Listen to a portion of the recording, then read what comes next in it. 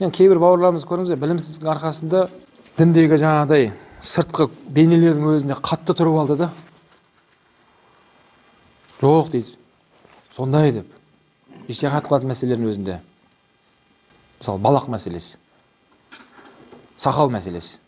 Қатты тұрғандар бар да. Жоқ дейді. Ал бірақ қатты тұратын дәретте аяқ жууға келген кезде босап кетті да олар. Жоқ дейді бұл жерде дейді. Нәскиге дейді тартқан ғой е қой нәскиге тартпаған ешкім сен қателеспе пайғамбар алейхисалам заманында нәски болмаған қара қатты тұратын парыз еді да ол ше құрандағы аят еді ол дәрет намаз оқитын кезде бетіңді жу қолыңды жу басыңа масих тарт аяғыңды тобықпен қосып жу парыз ғой бұл а осы жерге келген кезде олар не болды ижтихат қылып тұр да е ол сен нәскиң мәси емес егер мәсі болса ол жерде әңгіме жоқ дәретпен киіп ал да не? Тұрғылықты бір тәулік сапардағы адам үш тәулік тарта бересің. Ол ижма бір ауыздан келіскен мәселе еді. А бірақ келіп алып жаңағыдай қатты тұратын келген кезде жаңағыдай жұмсақтық қылып жатыр да. Ал жұмсақтық қылатын мәселе келген кезде қатайып жатыр да. Тағассұппен е ол болмайды ондай дұрыс емес. Дұрыс емес ол. Мына осы сақал мәселесінде уақытында есімде өзімнің ауылымда мына иә туып өскен ауылымда мен екі мың бесте оқуға кеттім. екі мың жетіде келген кезде сол кезде жасы үлкен біз бір ағаларымыз маған ақыл айтты. Сен сияқты анау мұхит асып алиасқарға барып оқымасам да дейді. Шариғаттың бұйрығын орындап жүрмін дейді да ол. Не бұйрық деймін ғой? Сақал дейді.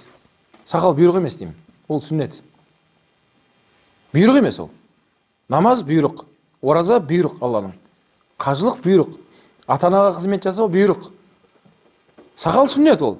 Дұрыс сақал мен жоққа шығармаймын. Де былай былай көремін. Жоқ деп олар бой бермеді. Жарайды. Сонымен кеттім 2007-те сөйтіп 2009-да және келдім ауылға. Екі жылдан кейін демалысқа. Келсем баяғы сол жартас сол жартас сол сақал сол сақал. Олар тағы да әңгіме айтты маған. Кел бауырым тұра тұр енді дедім. Енді осы жерде қатты кетпеңдер.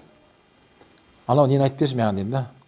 Намаздың парыздарын жаңағы дәрет судың түрлерін айтып берші десем әр жерден шұқып екі үшеуін ғана айтты тоқтады осымен айтамын көрдің ба деймін. Ол сақалды қанша өсіргенім адам білімді болып қалмайды деймін да. Сен менің жүрегіме кіріп шыққан жоқсың ғой субханалла. Мен сақал жақсы көремін деймін. Аллах куә мен сақал жақсы көремін деймін. А бірақ мен оқуға кететін кезде мен соны ойландым дедім да қарадым мен. Таразыны екі жағына салып көрдім. Таразының бір жағында білім тұрды. Бір жағында сен айтып сақалды қойып қойдым дедім да. А егер сақалды қойсам сен сияқты анау шетел емес өзіміздің елден шыға алмай жатырмын мен дедім. сөйтіп ойландым мен. Маған проблема керек па сақалмен? Керек емес. Білім парыз ғой. Білім парыз. Сақал қою ше парыз емес. А неге мен парыз емеске қатайып алуым керек екен да? сөйтіп қатайып білім ала жүрген кезде жұмсақтық қылуым керек екен. Жоқ дедім мен. Білімге кеттім дедім. Сақалды алдым да жүрегіме салып қойдым дедім. Иншалла. Аман есен оқуымды бітірейін. Сақалды қоямыз. Бас аман болса тақия табылады иншалла. А бірақ оны қатайып алды да сол жігіттер. Сонымен айтамын сен деймін сол баяғы жартас сол жартас деймін. Анау дәреттегі судың үкімін біліп тұрған жоқсың деймін да субханалла. А дініміз оны саған айтып жатқан дінде бізге білім парыз деп айтты емес па сен білім алмайсың ба сен? А білімге жараса сақалды да қою керек әдеппен қою керек. Білімге жараса тақия ки ұзын киін. Былай сен көрінісің деймін. Келу керек та. Пақ шіркін мынаны қарасаң не деген әдепті міне мұсылманның баласы дегенде түрі сенде келбет болу керек деймін. Сақалды қойып алып балақты қысқартып шортиді киіп алып басыңа кепка шаш өрім өрім. Е түріңе қарасам шпананы түріңе ұқсайды деймін да. А сені көріп кім ғибрат алады деймін мына жерде?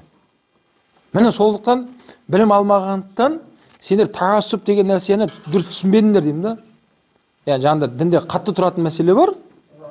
Және қарайтын мәселе бар орын ауысып кетті ғой жаңағы білімсіздіктің арқасында да соның бәрі сол үшін бауырлар білім парыз да құрандағы білесіздер жүз он төрт сүренің ең алғашқы аяты сол білім жайында түскен ғой бұл намаз оқы ораза ұста деген аяттар түскен жоқ алғашқыда кез келген құлшылықтың мән мағынасын былайша айтқан кезде тұзы тұздығы ол білім екен білімнің арқасында біз жаңағыдай ағайын туыспен байланысуды түсінеді екенбіз. Білімнің арқасында отбасының хаққысын біледі екенсің. Білімнің арқасында әкені сыйлауды білесің сен. Білімнің арқасында құлшылықтың мән мағынасын түсінесің. Не үшін істеп жатқаныңды. Білім алмастан бірден анаған кірген кезде адам сыртқы бейнетіне мән бере берсе адам одан зерігеді не үшін істеп жатқанын білмейді ғой. Еліктеп еліктеумен бір біріне давай давай ой міне сүннат брат ахи деп кете берді. Ақыры соңында жалықты олар. Мен сондай жігіттерді көрдім уақытысында. Сақал кеткенше басым кетеді деген жігіттерді көрдім уақытысында. Кейін бірнеше жылдан кейін сол жігітті көрдім мен. Тап таза ғой мынаның бәрі. Қырып тастаған да. Ей сақал қайда? Басың аман ғой. Сен айтқаның ғой сақал кеткенше басым кетеді оның орнына деп. Сақалыңды жоқ басың орнында ғой. Не болды десем сөйтіп ана жаққа барып келген екен ар жаққа барып келіпті да ондай болмайды бауырлар. Ондай болмайды. Ол жақта ешкім сен сақалыңа тиіспейді өздері жаңағыдай жіберіп қойған ғой. Сол үшін бауырлар біз адамнан емес алладан қорқамыз. Ә, алланың қорқудың өзіне білім керек. Білім керек. Дейді. Алладан шынайы қорқатындар ол білім иелері деген да алла сол біліммен жаңағы айтып жатқандай тағассұп ол жақсы нәрсе. Тұратын жерде тұрып қалу керек та адам. Тұрып беру керек. Қандай жел соғып тұрса да сен тұруың керексің.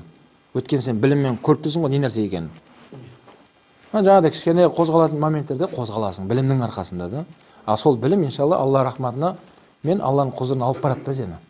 Үмбетті алып барады. Сол үшін барлық нәрсенің басында білім тұр да. Білім.